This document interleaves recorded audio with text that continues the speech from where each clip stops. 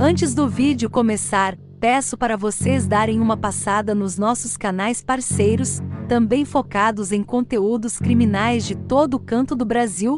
Vou estar deixando o link fixado abaixo. Um homem foi de vapo e outros dois ficaram feridos após um confronto com policiais militares do batalhão de Niterói, na noite desta quarta-feira, no distrito de Itaipuaçu, em Maricá.